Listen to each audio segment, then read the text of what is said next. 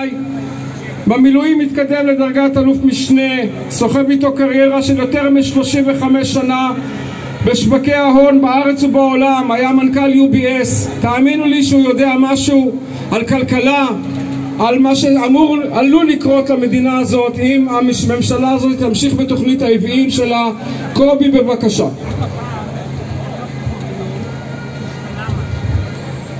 תודה שלמה, וערב טוב לתושבים הנפלאים של הקריות והצפון. אני מייצג היום את האחים והאחיות לנשק ויוצאי חיל התותחנים. אגב, יש להם עמדה כאן לאחים לנשק ואני מפנה אתכם. אבל אני גם מייצג את דור לוחמי מלחמת יום הכיפורים. אבל בראש ובראשונה ולפני הכל אני מייצג כאן היום מאות אלפי לוחמות ולוחמי חופש שחרדים היום לעתיד הדורות הבאים במדינת ישראל. גם הם אחים ואחיות לנשק. נשק המחאה למען הדמוקרטיה. דמוקרטיה. דמוקרטיה. דמוקרטיה. אחים ואחיות למאבק בעריצות שמובילה כאן חבורה של אנשים תאבי כוח. חלקם נאשמים או מורשעים בפועל. חלקם אנשים הזויים משיחיים הדוגלים באידיאולוגיה חשוכה. וחלקם אינם לוקחים חלק בנטל המדינה שבה הם חיים אך סוחטים אותה עד תום לצורכיהם.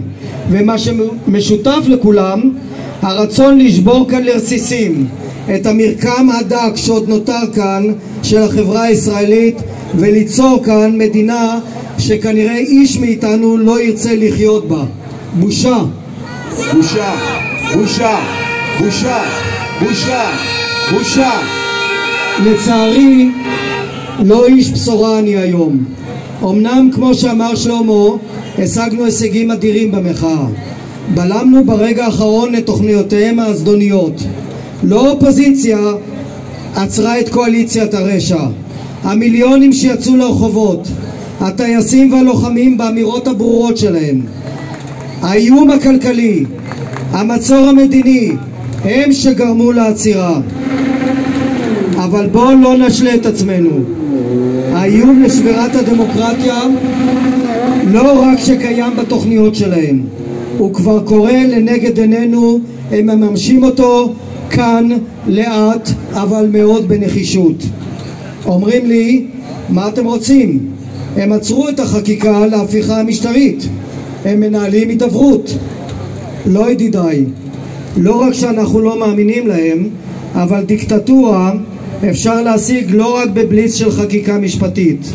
הם עצמם, כמו ששמעתם הערב, אומרים שהם עברו לשיטת הסלאמי. וכל יום אנחנו נחשפים לעוד ועוד חוקים שבמצב דברים רגיל כל אחד מהם היה מזעזע את אמות הסיפים. למעלה מ-150 חוקים שכל תכליתם לפגוע בזכויות הפרט, סתימת פיות, הדרת מגזרים ואפליה של אחרים מונחים היום לחקיקה מיידית. דוגמאות אתם מכירים. רק מחר עולה החוק החדש למניעת תמיכה של ישויות זרות בעמותות בישראל שעולה מחר לדיון. חוק החמץ, חופים נפרדים. החוק להרחבת סמכויות בתי הדין הרבני לעסוק גם בנושאים אזרחיים לבחירתו של כל אדם. תנסו לחשוב מה זה יכול לגרום. חוק היועמ"שים, חוקים אישיים שכבר אמרו. ואגב, הזכירו כאן, אתם יודעים מי הוא אחד השיאנים בהצעות החוק האלה? זה שר האטום של מדינת ישראל, דודו אמסלם. שר האטום. בושה. בושה. בושה. בושה. בושה.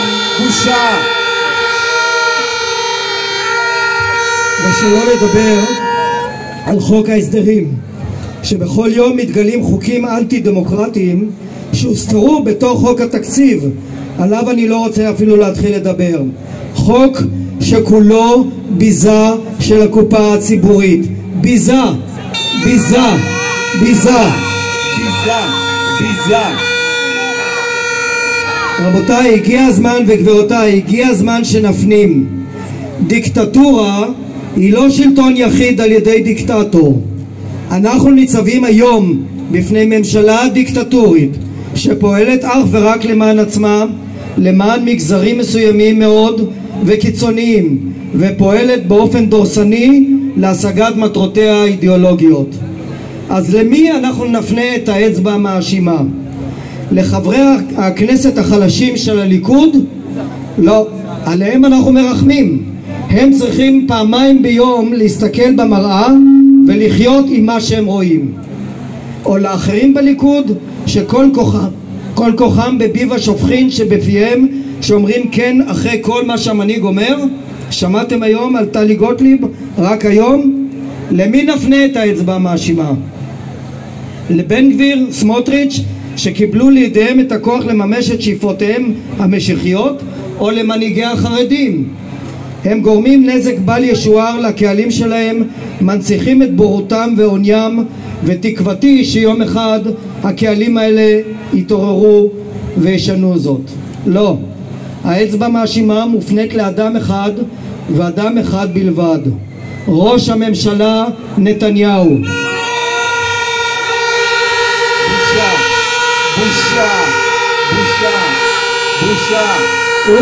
הוא זה שמשסע, הוא זה שמשסע, הוא זה שמסית אותנו אך ברעהו. הוא המניע כאן את מכונת הרעל הנוראית שמפיצה כאן שקרים נוראיים. אלפי מילים כבר נכתבו בניסיון להבין מה מניע את האיש הזה. מה גורם לו להביא את החברה הישראלית לסף של מלחמת אחים? מה גורם למר כלכלה לנהל מדיניות כלכלית שתביא חורבן כלכלי על ראשנו ותשעבד את עתיד הדורות הבאים להחזר חובות לבור הענקי שהוא יוצר כרגע? מה מניע את מר ביטחון שגורם לבידודנו בעולם שעד עתה תמך בנו? לחרם מצד הגדולה שבידידותינו בשעה שהגרעין האיראני מתדפק על דלתנו? מה גורם לו לגרום להחלשת החוסן הלאומי שלנו? יש הסברים וכולם מטרידים, הייתי אומר אפילו מפחידים. הקל שבהסברים דרך אגב הוא הניסיון להימלט ממשפטו, קל מדי, זה לא זה. אני מניח שכבר כולנו הבנו שסיפור הלגאסי שלו, מורשת נתניהו, הוא כבר זנח. אז האם זו שאיפתו לרודנות ולכוח בלתי מוגבל בנוסח אורבן, בולסנרו ואפילו פוטין? האם זה הרצון להישאר בשלטון בכל מחיר לעוד שנים רבות ואולי להמליך עלינו מלך אחריו? המטריד ביותר, אגב, הוא הסבר ששמעתי לאחרונה מפסיכולוג, מפסיכולוג קליני בעל שם. תהיו איתי רגע. הוא משווה זאת לזוג שמתחתן מתוך אהבה, מביא לעולם ילדים, ואחרי הרבה שנים מתגרשים ומנהלים מלחמת חורמה אחד בשנייה.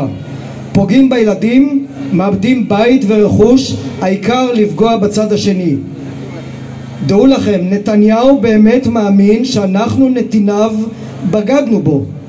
כל מה שהוא עשה למעננו ואנחנו מעמידים אותו לדין על כמה סיגרים ורוצים לסלק אותו מחיינו הוא יוצא עכשיו למסע נקם וחורבן עצמי יהיה המחיר אשר יהיה כדאי לחרות את זה על ליבנו חברים וחברות לא באתי כאן לרפות את ידיכם נהפוך הוא באתי לעודד אתכם להישאר מפוקחים וערניים על המשמר המחאה לא גוועת והיא תמשיך ותתעצם ככל שהם ימשיכו במעשיהם. לא נאפשר להם לאבד במחי יד את מה שעלה לנו בדמים לבנות כאן. אנחנו ננצח כי הצדק איתנו ותנצח הדמוקרטיה. תודה.